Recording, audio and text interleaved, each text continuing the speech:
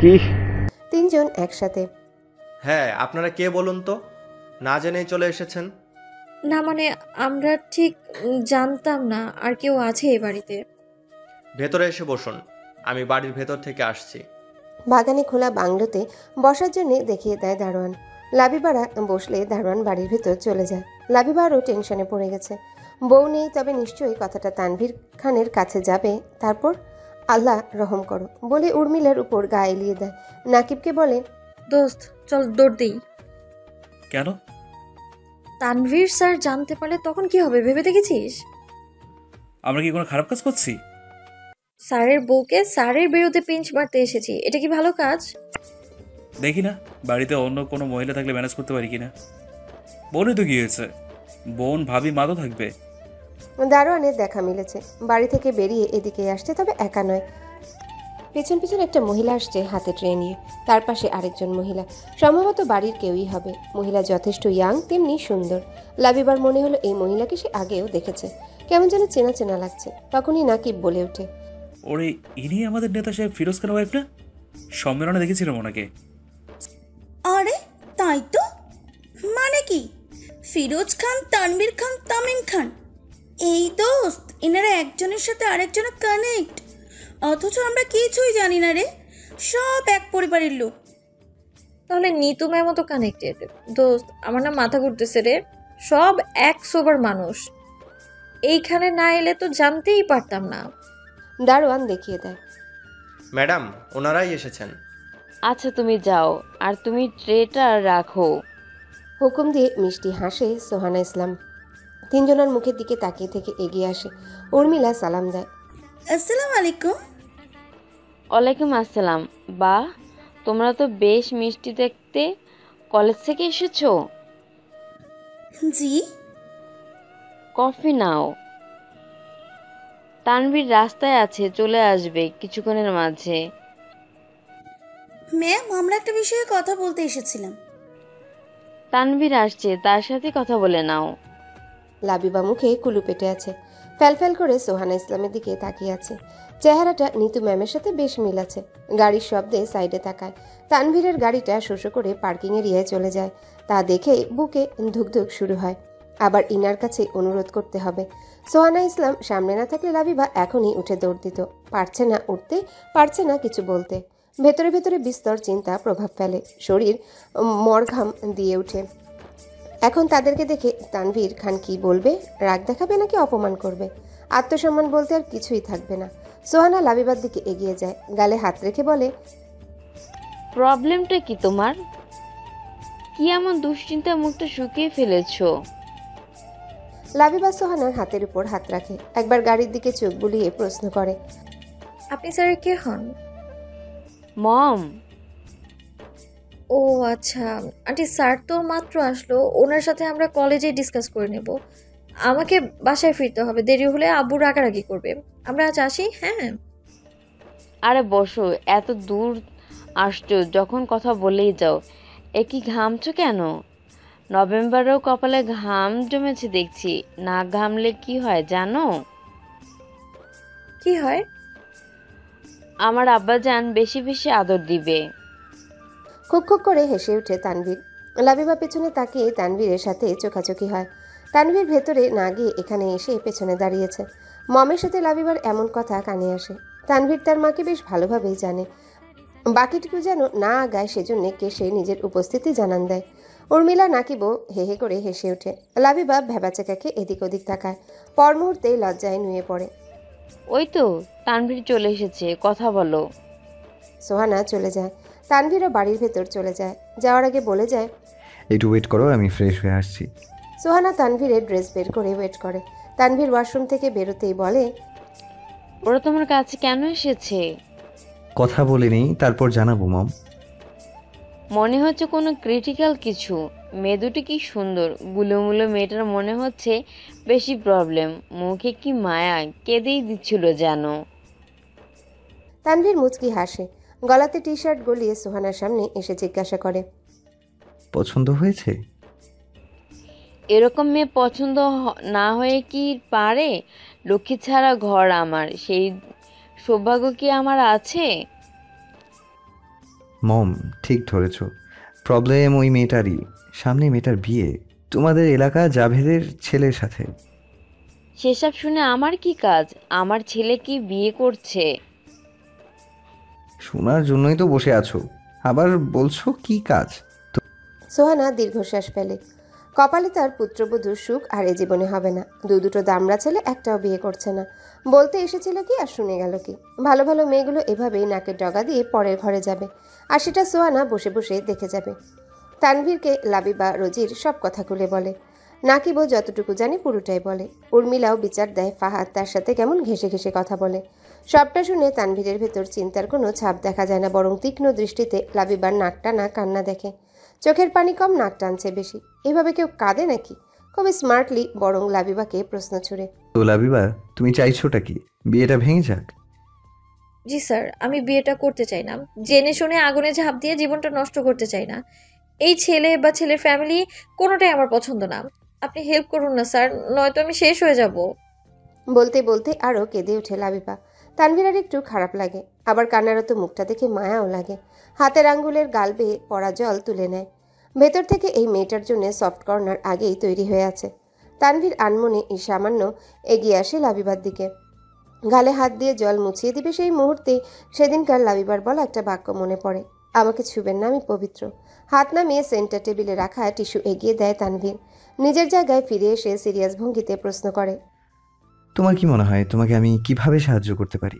এই বিয়েটা ভেঙে গেলে তুমি কি অন্য কাউকে বিয়ে করবে? না স্যার আমার পক্ষে সম্ভব না। আমি নিজে ক্যারিয়ার সামান্যতম স্যাক্রিফাইস করতে রাজি না। সেজন্য তুমি বারবার আমার কাছেই কেন আসছো? স্যার আপনি তো হ্যাঁ আমি এখানে মাধ্যম হিসেবে আছি কিন্তু আমি কিন্তু তোমার পরিবারের প্রস্তাব রাখিনি। তোমার সাথে দেখাই আমার যেদিন তোমাকে কলেজে দেখতে এলো সেদিন। এর আগে দু একবার চোখে পড়লেও পড়তে পারো। তোমার ফ্যামিলি আর ফাহাদার ফ্যামিলি দুই পরিবার দুই পরিবারকে পছন্দ করেছে। তারপর যেহেতু তুমি আমার কলেজে আছো আমার মমের সূত্রে তারা এসে আমাকে জানিয়েছে। তোমাকে পছন্দ করার পর রিকোয়েস্ট করেছে যেন আমি ব্যাপারটায় থাকি। এখানে আমার কর্তৃত্ব কতটুকু তোমাকে বুঝতে হবে লাবিবা? আমার হ্যাঁ অথবা নাই কিছুই এসে যায় না। আপনি তাহলে কিছুই করবেন না? আজ আমি হয়তো বিয়েটা ভেঙে দিতে পারব। কাল তোমার জন্য অন্য ছেলে এসে দাঁড়াবে। এবং তোমার বাবার সাথে কথা বলে যা বুঝলাম, সে যে কোনো অবস্থাতেই তোমায় এখন বিয়েটা দিয়েই ছাড়বে। ওনার বেশ তারা তুমি সেদিন আমাকে যে অভিযোগগুলো করলে, সেটাও ঠিক। কী কারণে, সেটা আমিও জানি না। অভিযোগ, সেটা তো আমারও আছে তোমার প্রতি। আমার স্টুডেন্ট হয়ে আমার সাথে বেয়াদবি করো। আইডির নাম কি জানো? হ্যাঁ? সুবোধ বালিকা। উল্টাপাল্টা মেসেজ তার আগে গাড়িতেও তোমার লেখা একটা মেসেজ পেয়েছি। চরম বেয়াদব না হলে কেউ এমন করতে পারে না। প্রবলেম তোমার আর তোমার ফ্যামিলির তা না, তুমি কন্টিনিউয়াসলি আমার সাথে বেয়াদবি করে যাচ্ছ। কতটুকু সুবোধ বালিকা তুমি, আমার জানা হয়ে গেছে। বলতে বলতে এই ক্রোধে ফেটে যায় তানভীর। লাবিবাকে দুটো থাপ্পড় দিলে তার এই ক্রোধ কমতো। লাবিবা মাথা নিচু করে আছে। এত সব কাণ্ড ঘটিয়েছে নাকিব উর্মিলা কেউ জানে না। দুজনেও মাথা নিচু করে আছে। নাকিব সাহস নিয়ে বলে সরি স্যার বুঝতে পারেনি। ছোট বলে ক্ষমা করে দিন। ওকে সরি বলতে বলো। লাবিবা চোখের জল মুছে বলে সরি স্যার আর কখনো হবে না। কিন্তু আমি বিয়ে করব না। আমি চাই তুমি বিয়েটা করো। মেয়েরা কুড়িতেই বুড়ি শুনেছো তো? আমার মনে হয় তোমার তাড়াতাড়ি বিয়ে করাটা উচিত। তানভীরের কথায় লাবিবা মাথা তুলে তাকায়। চোখের জল মুছে দৃঢ় গলায় বলে আমি বিয়েটা করছি না। আপনি হেল্প না করুন কিন্তু আমি এই বিয়ে ভেঙেই ছাড়বো। আমিও দেখতে চাই তুমি বিয়েটা ভাঙতে পারো কিনা। ওকে ডান। তুমি যদি এই বিয়েটা ভাঙতে পারো তাহলে আমি তোমায় বড় সড়ো একটা গিফট দেবো। এমনকি বিয়ে ভাঙার পর তোমাকে যে যে প্রবলেম ফেস করতে হবে আই মিন সমাজ তোমার ফ্যামিলিকে যেভাবে ধিক্কার দিবে পুরোটাই সামলানোর দায়িত্ব আমার। লাবিবা চোখ ছোট ছোট করে তাকায়। কি গিফট তোমাকে এমন বড় একটা গিফট আমি দিতে চাই যে গিফট তোমাকে সারা জীবন সুখে থাকার পথ দেখাবে। বিয়ে ভাঙার রেসপন্সিবিলিটি তোমার আর তোমাকে গিফট দেওয়ার রেসপন্সিবিলিটি পুরোটাই আমার। লাবিবা তানভীরের মাঝে নীরব একটা চ্যালেঞ্জ হয়ে যায়। লাবিবার মাথায় এখন একটা ব্যাপারই ঘুরছে। তা হলো কীভাবে বিয়েটা ভাঙা যায়? গেটের বাইরে ইসমাইলের সাথে চারজন লোকের রেশারেশি চলছে। লোকগুলোকে লাবিবা চেনে। মুন্সি বাড়ির লোক। মুন্সিবাড়ির ছেলের জন্য লাবিবাকে গত চার বছর থেকে চেয়ে আসছে। এখন নাকি ছেলেটা ব্যবসা করে অনেক টাকার মালিক হয়েছে। ঢাকায় বাড়িও করেছে। সেগুলোই ইসমাইলকে বোঝানোর চেষ্টা চলছে। ইসমাইলের এক উত্তর, আমার মেয়ের বিয়ে ঠিক হয়ে গেছে। আমার জামানের একটা দাম আছে। কিছুতেই কথা বরখেলাপ করতে পারব না। লাবিবা ওই মুহূর্তে সেখানে উপস্থিত হয়। লাবিবাকে দেখেই একজন বলল এটাই ইসমাইলের মেয়ে লাবিবা? মাশাল্লাহ মেয়ে তো আসলেই অনেক সুন্দরী। ইসমাইল কথা শুনে লাবিবাকে চিহ্ন করল। ইশারায় বলল চলে যেতে। লাবিবা বুঝলো না বরং লোকগুলোর দিকে হা করে রইল কাহিনী কি দেখার জন্যে। হ্যাঁ করে দাঁড়িয়ে আছো কেন? যাও। ভেতরে। ইসমাইল রেগে মেগে ধমক দিল। ধমক খেয়ে লাবিবা দৌড় দিল বাড়ির ভেতরে। জল্পনা কল্পনা চেষ্টা অনেক করেও কোনো ফল পাওয়া গেল না। সবাই রেগে গেল উল্টো লাবিবার দিকে। ঘরের দরজা বন্ধ করে হাউমাউ করে কাঁদলো। ফাহাদের সাথেও কথা বলল না। একবার নিজেই ফোন দিয়ে ফাহাদকে জানালো তার সম্পর্ক আছে, আর সে তার বয়ফ্রেন্ডকে অসম্ভব ভালোবাসে। লাবিবার কথা ফাহাদ যেন গায়েই তুলল না, উল্টো হেসে উড়িয়ে দিল। লাবিবাকে বোঝালো, দেখো, তুমি সুন্দরী মেয়ে, তোমার বয়ফ্রেন্ড থাকবে না, এটা অস্বাভাবিক। বিয়ের আগে দুই একটা বয়ফ্রেন্ড থাকা ভালোই। আমি ওসবে মাইন্ড করব না। বরং এখন থেকে তুমি আমাকে নিজের বয়ফ্রেন্ড হিসাবে মেনে নাও। তারপর আমাদের হয়ে যাবে লাভ ম্যারেজ ম্যাডাম, আমি কিন্তু আপনার দেবানা হয়ে গেছি। আপনি রাগ করলেও পাগল হয় ঝাঁজ দেখালেও পাগল হয় হাসলেও পাগল হয় নাচর বান্দা করে ছেড়েছেন আমায়। লাবিবা বুঝলো এই বান্দা তার প্রেমে হাবুডুবু খাচ্ছে। কোনো উপায় কি নেই? এর মাঝে যেন মুক্তিদূত হয়ে এলো নাকিবের ফোন। কোনো উপায় খুঁজে পেলি? না দোস্ত। তাহলে পরশু বিয়েটা করছিসই? পারব না। কত উপায় আছে? পালিয়ে যা। আমি কি অবুঝ নাকি টিনেজ? বাবা মার একমাত্র সম্বল আমি। কোথায় যাব? মান সম্মান কিছু থাকবে? দোস্ত একটা হেল্প করতে পারবি? তুই যদি রাজি হোস। হব বল। বদনাম করবি? নিজের? কি বলিস? সম্মানটা বিসর্জন দে তারপর দেখবি কিছুদিনের মধ্যে পরিস্থিতি নর্মাল হয়ে উঠবে। পাগল হয়েছিস? বিশ্বাস আছে তো আমার উপরে? হ্যাঁ। তাহলে চিন্তা কর। এছাড়া কোনো উপায় নাই? না। বৃহস্পতিবার সন্ধ্যাবেলায় জাবেদ ফাহিমের হোয়াটসঅ্যাপে পরপর কয়েকটা ছবি যায়। ছবিতে স্পষ্ট লাবিবার সাথে একটা ছেলের খুব ক্লোজ কিছু ছবি। সিন করা মাত্রই আনসেন্ড করা হয়। বাপ বেটা এতটাই অবাক হয় যে সব নেবার কথা মাথাতেও থাকে না। পরপর মেসেজ আসে। সে, যেখানে স্পষ্ট লেখা, আপনি যে মেয়েকে ঘরের বউ করতে চান, ইতিমধ্যে একজনের বউ। আর তার সাথে অবাধ মেলামেশা রয়েছে। আপনার টাকা দেখে বিয়ে করতে চাইছে। বাঁচতে ছেলে এক্ষুনি সারের ফাঁদে পড়ুন। পাহাদের মাথা হ্যাং হয়ে যায়। কি সব দেখল সে? প্রেম করবে কাছে যাবে এটা ঠিক ছিল কিন্তু বিবাহিত মেয়ে তার উপর টাকা দেখে ফাঁদে ফেলতে চাইছে। বিশ্বাস করতে চায় না সে। সাথে সাথেই টেক্সট পাঠায়। আপনি কে? রিপ্লাই আসে। আপনার শুভাকাঙ্ক্ষী। এত বড় একটা ভয়াবহ কথা কীভাবে মেনে নিবে? তার উপর যদি তাই সত্যি হয়, তাহলে লাভিবাই কেন আগে জানাবে যে তার রিলেশন আছে? ছবিগুলো আবার না দেখতে পারলেও তখনই খেয়াল করে দেখেছে যে ওইটা লাভিবাই ছিল। কিন্তু ছেলেটার মুখ দেখা যাচ্ছিল না, আর একদমই এডিট লাগছিল না। বিয়ের আগের দিন এরকম কিছু দেখবে ভাবতেও পারেনি। জাভেদের মাথায় হাত, এ কি করল সে? খুঁজে খুঁজে এত ইনোসেন্ট একটা মেয়েকে বউ করে আনতে চাইলো, সেই মেয়ে তলে তলে এত? না না, ভালো মানুষ আর পৃথিবীতে নেই। এই মেয়ে বিয়ের পর কি করবে? সেই জন্যই তো এত শর্ত মেয়ের বাপের। তার ছেলেটাকে ঠকিয়ে প্রথম স্বামী নিয়ে ফোন দিয়ে এটেছে। এই বিয়ে দিয়ে অনর্থ কোনোভাবেই করতে পারবে না। কিন্তু ছেলেটাকেও তো কিছু বলতে পারবে না। ছেলেটা তার মেয়েটার প্রেমে গলে গেছে। এই মুহূর্তে না করলে কি শুনবে? লোক জানাজানি হয়ে গেছে। হায় হায় রে আমার মান সম্মান সব গেল রে। চিন্তায় কপাল চাপড়াতে লাগল। তার স্ত্রী বুদ্ধি দিল। এই তো চিন্তা করছ কেন? বিয়েটা হয়ে যাক ঘরে বন্দি করে ফেললেই তো হলো। না গো ফাহাদের মা অন্য বৌদের মতো এই মেয়ের পরিবার দুর্বল না কিছুতেই ছেড়ে দেবে না। তার ওপর একখানাই মেয়ে ঝামেলা পাকাবে উনিশ থেকে বিশ হলে। এর বাপের কত বড় হাত তুমি জানো না। তাহলে তোমার ছেলের কি হবে? জানি না বড় মুখ করে তো আনলাম। ছেলে আমার দিওয়ানা হয়ে গেছে এখন না করলেও ছেলেই বা শুনবে কেন? মুখ মুখেই বা না করব। চিন্তায় চিন্তায় রাত পার হয়ে যায়। এদিকে ফাহাদও বাবাকে কিছু বলতে পারছে না, কারণ তার কাছে প্রমাণ নেই। আবার যাবে তো ছেলেকে কিছু বলতে পারছে না। দুজনের ভাবনাতেই সকাল গড়িয়ে যায়। বাড়ি শুদ্ধ লোক। জুম্মাবাদেই রওনা হয় মেয়েদের বাড়ির উদ্দেশ্যে। ভেতর ভেতর চলে বিস্তর পরিকল্পনা। লাভিবার সম্পূর্ণ ভরসা আছে নাকিবের প্রতি। আপাতত সে টেনশন ফ্রি হয়ে ঘুমোচ্ছে। বিগত কয়েকদিন ঘুমোতে পারেনি। বেচারা আজ সকালে ঘুম ভেঙেছে। খেয়ে দিয়ে আবার ঘুমিয়েছে। সাবিনা এসে ডেকে গেছে কয়েকবার। উঠার নাম নেই। পুরো বাড়ি আয়োজনে গমগম করছে। এলাকার চেয়ারম্যান মেম্বার সহ মুরব্বীরাও এসেছে। লাবিবার দুই চাচার আত্মীয় স্বজনরাও বাদ যায়নি। স্বল্প পরিসরে কাছের আত্মীয়দের নিয়ে বেশ জমকালো আয়োজন করা হয়েছে। কাজিন মহলের বোনেরা একসাথে এসে দরজায় ধাক্কা দেওয়া শুরু করেছে। লাবিপু উঠো। আজ তোমার বিয়ে। উঠো উঠো। তুমি কীভাবে ঘুমাচ্ছ? বিয়ের দিন কেউ এভাবে ঘুমায়? সাবিনা বেশ ভয়ে আছে। মেয়েটা না জানি কি করে বসে। জেদ ধরে তো আছে। মেয়েদের বারবার ডাকতে ইশারা করছে। লাবিবা মেয়েদের কণ্ঠ শুনে উঠে বসে। আড়মোড়া ভেঙে দরজা খুলে দেয়।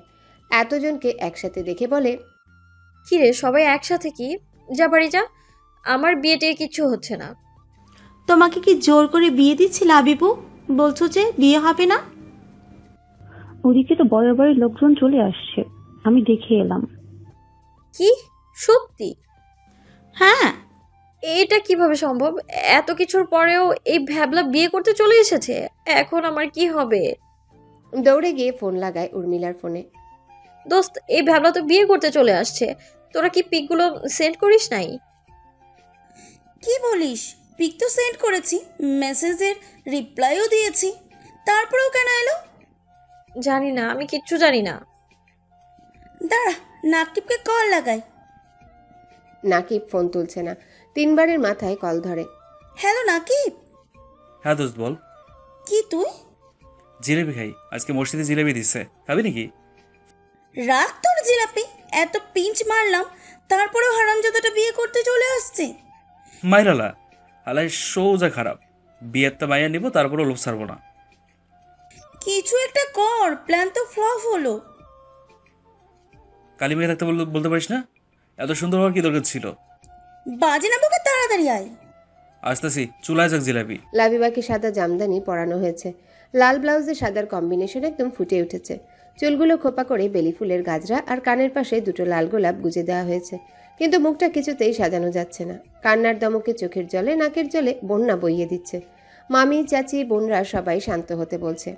আদরে আদরে বুকে চেপে ধরছে পিঠ বুলিয়ে বোঝাচ্ছে। সোনাটা এভাবে কাঁদে না। তোকে তো শ্বশুরবাড়ি পাঠানো হচ্ছে না। এখানেই থাকবি। কবুলটা বলে দিবি আর একটা সাইন। আর কিছুই লাগবে না। লাবিবার কান দিয়ে কথা যাচ্ছে না। আম্মু আম্মু করছে আর কাঁদছে। সাবিনা দরজা থেকে দেখেই মুখে আঁচল চেপে চলে যায়। লাবিবার কাছে আসে না। মেয়েটা আরও ভেঙে পড়বে। কলিজা ছিঁড়ে যাচ্ছে। নারী ছেঁড়া ধন কীভাবে আলাদা করবে? ইসমাইল তো চুপচাপ হয়ে গেছে। বাইরে সব কিছু তদারকি করছে। কেউ ভালো নেই, কারও মন ভালো নেই। লাবিবার সকল অভিযোগ সত্য তা ইসমাইলও জানে, তবে দিন পাল্টিয়েছে। ভালো ছেলে, সব কথা পাকা করে মেয়েকে তুলে দিচ্ছে। তবুও যেন শান্তি পাচ্ছে না, পাওয়ার কথাও না। মেয়ের জন্য এত বড় ঘর পাওয়াও যায় না। আজকের পর মেয়েটা অন্যের দায়িত্বে, বুক ভার হয়ে আসছে। অবশেষে লাবিবাকে জোর করে আদর দিয়ে কোনো মতে মুখে মেকআপ বসাতে পেরেছে। চোখ দুটো সাজাতে পারেনি, হালকা আইশ্যাডো দিয়েছে না পারতে। এক একজন আসছে আর হাই হাই করছে। আপনারা সবাই একটু বাইরে যান। হাতে হাতে কাজগুলো করে দিবেন। আমাদের মেয়ে একটু রেস্ট নেক। সাজতেই তো পাইলাম না। মরা কান্না কাজ ছেড়ে হাই রে। বাকিটা আমি সাজিয়ে দিচ্ছি। একা ছাড়ুন প্লিজ সবাই চলে যেতেই কাকি সে সাদা দোপাট্টা মাথায় দিয়ে দেয়। ঠোঁটে লিপস্টিক গাঢ় করে। টিস্যু দিয়ে চোখ মুছে দেয়। থুতনি তুলে বলে মাশাল্লাহ কি সুন্দর লাগছে। লাবিমা আর কাঁদে না হ্যাঁ? তুমি তো বোঝদার মা, দেখেছ? লোকে খারাপ বলছে। আমাদের সোনা মা? লাবিবার কাঁদে না। উর্মিলার বুকে মুখ গুজে থাকে। সর্বনাশ যা হবার হয়েই যাচ্ছে। ছেলেপক্ষের সাথে বেশ তর্ক হচ্ছে। ইসমাইল দেনমোহর ধরতে বলেছে পঁচিশ লাখ। জাভেদ ধরতে চাইছে দশ লাখ। চাপাচাপিতে বেশ কথা ওঠে। ইসমাইল নত যেন না হয়ে বলে আমার মেয়ের জন্য ইচ্ছে করলেই আমি এই মুহূর্তে দশ লাখ বের করতে পারি। সেখানে আপনারা কোটিপতি হয়ে মাত্র দশ লাখ কীভাবে দেনমোহর ধরতে পারেন? আহা বেয়াই। যত কম দেনমোহর হবে তত সংসারের রহমত আসবে। আগের দিন বাকি খাইছে। এখন আর সেসব বললে হবে না। সামর্থ্য অনুযায়ী দেনমোহর ধরুন। আমরা দশের উপর যেতে পারব না। পঁচিশের নিচে আমি মেনে নিব না। এক কথা, দুই কথায় বেশ গন্ডগোল শুরু হয়। শেষমেশ তানভীরই একটা প্রস্তাব রাখে। হ্যালো বন্ধুরা, পরবর্তী পার্ট খুব তাড়াতাড়ি আসবে। তো সবাই অপেক্ষায় থাকো, আর চ্যানেলটি যারা এখনও সাবস্ক্রাইব করনি, তারা পরবর্তী পার্ট দেখার জন্য চ্যানেলটি সাবস্ক্রাইব করে রেখো। ধন্যবাদ সবাইকে। আমাদের সাথেই থেকো।